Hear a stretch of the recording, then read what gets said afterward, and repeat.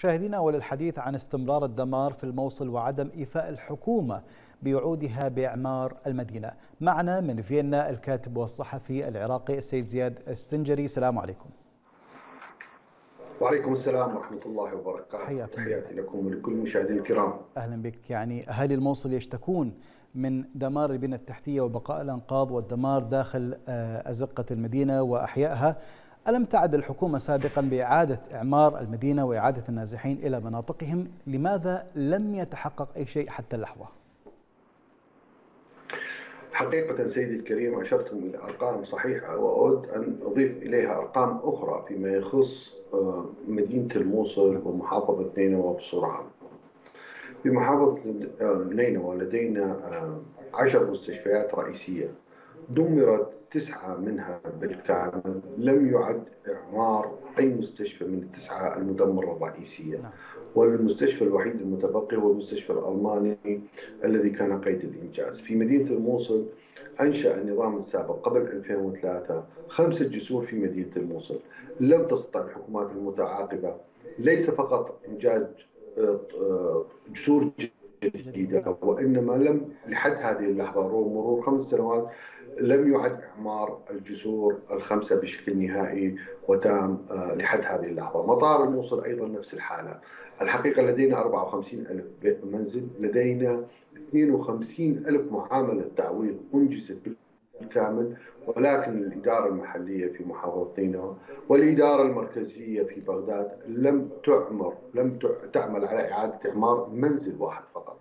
الحقيقة غياب البنى التحتية أضر بالمدينة بشكل كبير.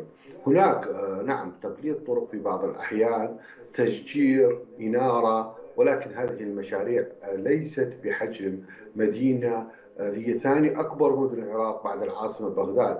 لا تتناسب مع حجم وسكان هذه المدينة ومكانتها. لا توجد بنى حقيقية بنى تحتية عملاقة تتوازى أو توازي مع السكان والمساحة إلى آخره من الأمور التي يمكن أن تعمل على إنهاء معاناة المواطن في سواء في التنقل في المجال الصحي في المجال التربوي في المعامل والمصانع. خاصة إذا ما علمنا أن لدينا 270 معمل ومصنع مدمر في محافظة نينوى ومدينة الموصل لم يتم إعادة إعمار ولا مصنع ولا معمل واحد في هذه المحافظة بصورة عامة. نعم سيدي. نعم هنا أيضا يعني الصورة التي تكلمت بها والدمار الذي يعم المدينة صورة واضحة بالنسبة للعالم أجمع. اليوم رئيس الحكومة مصطفى الكاظمي وفي كلمته بالأمم المتحدة لم يتطرق إلى حجم المشكلة التي تعيشها مدينة الموصل ويعجز عن إعادة إعمار مدينة الموصل، لماذا اختار تجميل الواقع في العراق رغم مدينة الموصل ومحافظة نينوى من من المحافظات العريقة في العراق والعالم أجمع يعرف ما الذي حصل في المدينة والمحافظة كلها. نعم سيدي الكريم، العراق يتذيل الترتيب العالمي في أسوأ دولة من ناحية الشفافية أسوأ دولة من ناحية الجواز السفر أسوأ دولة في انتهاكات حقوق الإنسان والصحفيين وإلى آخره من الأمور. مدينة الموصل هي من أكثر المدن العراق للأسف فيها ملفات فساد حسب تقارير رسمية من قبل النزاهة التي تنشر دائما بشكل دوري كل شهر عمليات المداهمة والتفتيش والاعتقال والتحري ولديها جداول خاصة تصدرها في بغداد.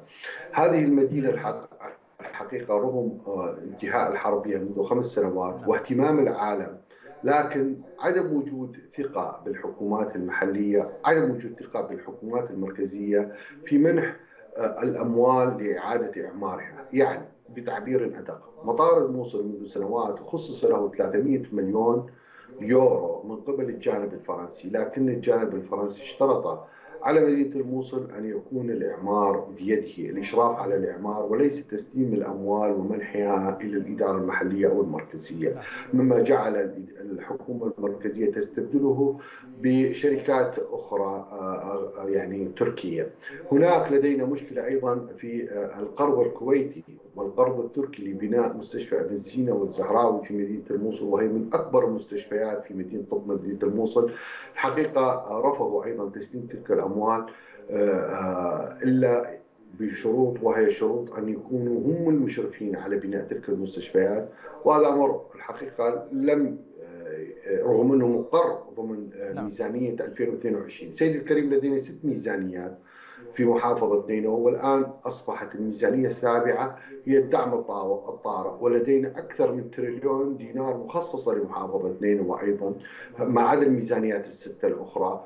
ولا يوجد في الأفق مشروع استراتيجي واحد في مدينة الموصل أو محافظة نينوى هناك مشكلة كبيرة هناك عدم اهتمام من قبل الحكومة المركزية رغم أن هناك اهتمام دولي ولكن هذا الاهتمام ينحصر مع آه، تسويف الحكومة المركزية والحكومة المحلية لقضايا مدينه الموصل ومحافظه نينوى. نعم يعني وضحت الصورة بأن الحكومة تنصلت عن إعادة إعمار الموصل ولكن في المقابل هل استطاع اهالي الموصل الذين أعادوا إعمار منازلهم بجهود ذاتية من الحصول على تعويضات مناسبة يعني هم خاطروا بأنفسهم وعادوا إلى مناطق خطره جدا لا تزال هناك جثث داخلها لا تزال ربما عبوات ناسفة هل يعني أليس من المفترض أن تتحمل الحكومة إعادة الإعمار وتكاليف نقل وإعادة أو تعويض أعطاهم تعويضات؟ الحقيقة ملف التعويضات هو من الملفات الشائكه وهو يحل مشكلة كبيرة في مدينة الموصل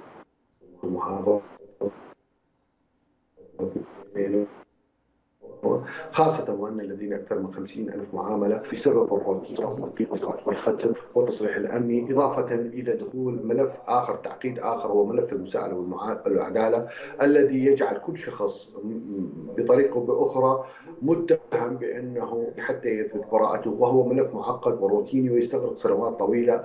ناشدنا الجهات ذات العلاقة للأسف تعقيدات كبيرة وضعتها وعراقيل وروتين قاتل وضعته الحكومة المركزية آه، وسط عجز كبير من قبل الإدارة المحلية لفك هذه المسألة. في مدينة الموصل محافظة اثنين يطبق قانون وحيد من نوعه في العالم. والوحيد نوع من نوعه في العراق لا تنجز أي معاملة. يعني حتى خط المولدة عندما شخص يريد أن ينتقل من منزل إلى آخر نعم. ويسحب خط مولدة عليه أن يدقق امنيا لدى الاستخبارات والأمن الوطني. تخيل سيدي الكريم. لذلك معاملات التعويض الحقيقة لم تصرف وهذا آه، أمر آه، وكذلك معاملات وسرعة إنجاز عودة النازحين والكثير من العراقيل التي وضعت من أجل استتباب الأمن. هناك حالة إيجابية سيدي الكريم وهو قيام الميسورين والتجار من أبناء مدينة الموصل بإعادة المستوصفات والجوامع والمساجد والمدارس. بجهود ذاتية. آه، على حساب بجهود ذاتية وهي من أسرع المدن في العالم استعادة عافيتها ولكن بجهود ذاتية أعيد واكرر ليس بدعم حكومي من قبل الحكومة المحلية. والمركزيه وإنما بعض المنظمات وكذلك آه، الخيرين من أبناء مدينة الموصل ورغم الوعود وانطلاق عملية إعادة إعمار مثل جامع النبي يونس ولكن الآن تبين بأن من سيقوم بإعادة إعمار جامع النبي يونس وجامع عمر الأسود والكثير من المساجد والجوامع هم الميسورين والمنظمات الخيرية الإنسانية في مدينة الموصل ومن أبناء الموصل نعم. من داخل وخارج المدينة وخارج العراق. نعم سيدي نشكركم الشكر الجزيل من فيينا الكاتب والصحفي العراقي سيد زياد سنجري شكرا جزيلا لك.